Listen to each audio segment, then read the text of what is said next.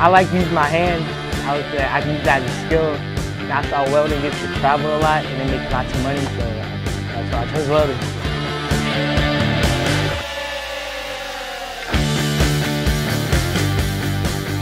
We have a staff of uh, six full-time staff members.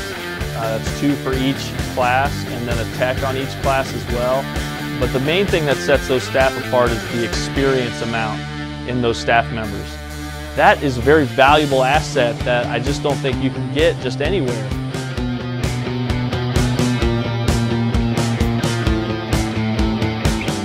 I like making stuff, like a lot, and just doing it, just the process of doing it.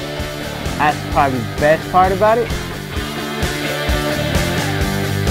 It's a good environment here.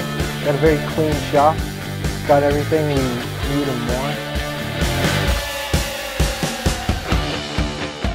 We have a job fair at the end of our school year, and that job fair brings in unions, it brings in private industry, it brings in shipyards, it brings in custom fabrication, it brings in every different uh, area that you can think of in welding.